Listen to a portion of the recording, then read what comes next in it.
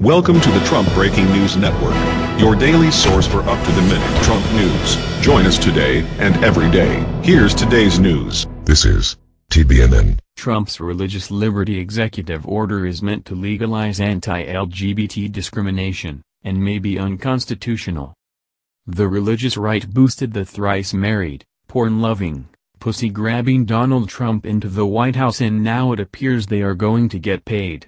Politico has reported that on Thursday, which is the National Day of Prayer, Trump will likely sign a religious liberty executive order intended to grant broad rights to religious conservatives to discriminate against LGBT people and women perceived to be sexually immoral.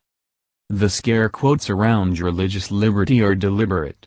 If this executive order is anything like the one leaked to The Nation in February, then it has nothing to do with religious liberty, as the term is commonly understood.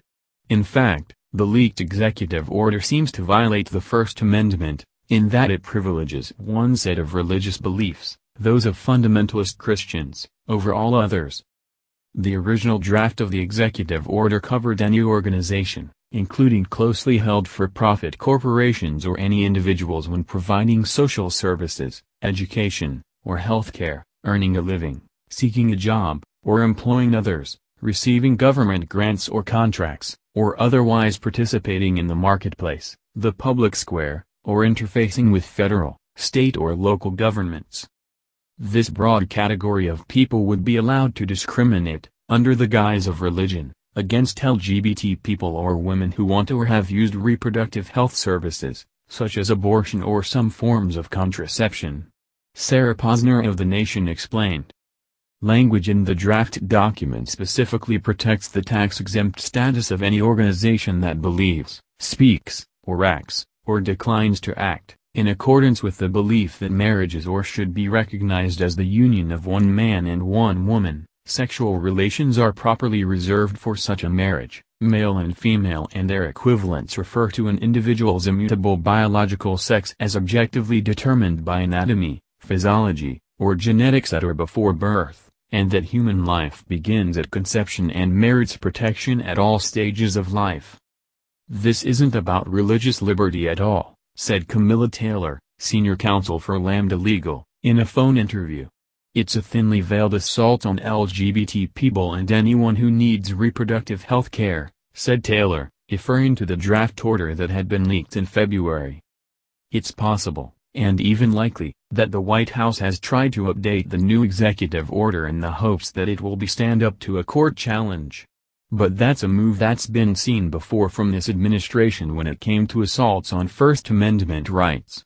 When it was clear that Trump's first Muslim travel ban, which was clearly an attempt to discriminate against people based on religious beliefs, would fail in court, the administration slapped together a new one with a few tweaks meant to make the bigotry less overt. Trump's second travel ban does not seem to be passing muster in the courts either, though the matter is still in litigation. Trump's religious liberty executive order is meant to legalize anti-LGBT discrimination, and may be unconstitutional. Legally, the administration is in a bind. The religious liberty order, reportedly a pet issue of Vice President Mike Pence, is clearly meant to address an anti-LGBT and anti-feminist constituency on the religious right. The leaked draft reflected this desire by delineating four religious beliefs that receive special protection. The problem with this is that privileging one set of beliefs over another seems to be a clear violation of the First Amendment, which expressly forbids the government establishment of religion.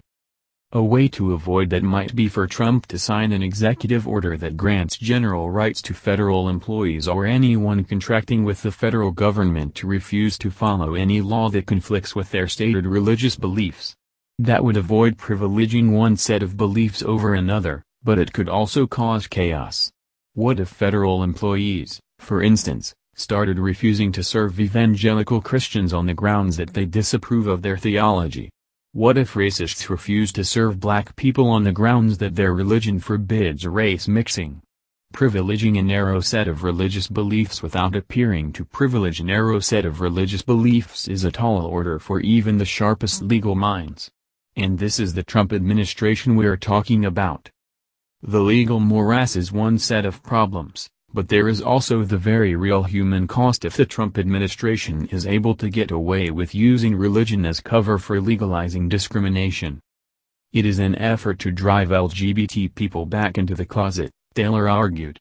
The prospect for members of that community, she said, is that your interactions with your own government will be constrained by the possibility that you may be interacting with someone who despises you and who now feels that they have been invited to discriminate against you.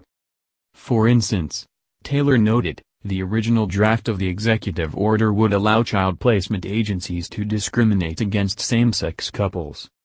What that would mean is that if a mother is in crisis and needs to get her act together, either because she's struggling with addiction or goes to jail for a short period, Taylor said, and her child has to go into the foster care system, the loving lesbian aunt and her spouse would not be able to get licensed as foster parents and be able to take care of that child.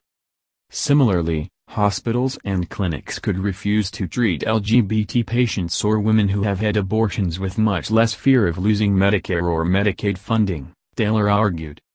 It's possible that Trump will sign a watered-down version of the bill that does not specifically mention anti-LGBT or anti-choice beliefs. But even if he does, both the religious fundamentalists and members of the groups they target for abuse will understand that this bill is intended to protect anti-LGBT and sexist discrimination, and that could have negative ramifications. That's what happened with the Muslim travel ban. Even after it was revised and eventually blocked by the courts, the fact that the ban was ever imposed in the first place sent shock waves of fear through Muslim communities and empowered racists to act out. Many Muslims are still afraid to travel and teachers he reported that young students are crying and having panic attacks in school, for fear that they will be targeted again. A similar thing happened in Indiana when Pence, the state's former governor, signed a religious liberty bill. Pence told the press and the general public that the bill had nothing to do with anti-LGBT discrimination, but then turned around and gave the opposite signal to the religious right by reaching out to anti-gay activists for support. No one appeared to be fooled by Pence's me, anti-gay act, and public pressure mounted until Pence caved and added a provision to the bill that banned discrimination on the basis of sexual orientation or gender identity. That move effectively nullified the badly disguised purpose behind the bill. In the end, it may not matter much to Trump and Pence if the executive order doesn't hold up. Republicans in Congress recently failed yet again to defund Planned Parenthood in budget negotiations, and religious conservatives are growing hungry for some kind of assault on people whose sex lives they disapprove of. An executive order that collapses in court but sends a shock wave of fear through the LGBT community isn't an ideal outcome for the religious right, but these zealots will definitely give the president credit for trying. That's the news. Join us here every day.